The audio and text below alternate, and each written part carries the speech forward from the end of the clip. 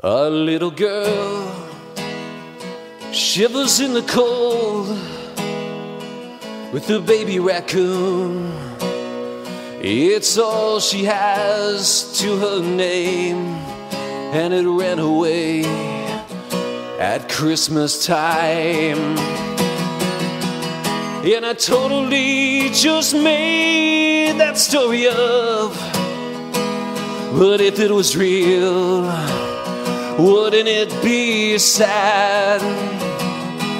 That whole baby raccoon thing didn't really happen. But man, wouldn't it be sad?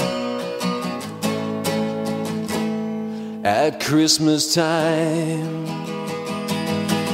And some guy is in the hospital, his arms are broken. And the doctors say, you can pay your bill for free if you can do 15 push ups right now. But he can't because you'll remember his arms are broken at Christmas time. You see, there's sad stuff all over the place. And I could eventually find something that makes you cry, so why don't you just save us some time and effort and just give me some money? And I totally just made the story up. The one about the guy with the arms didn't really happen. But if it did, it'd be so sad, even though it has nothing to do with Christmas, if it happened.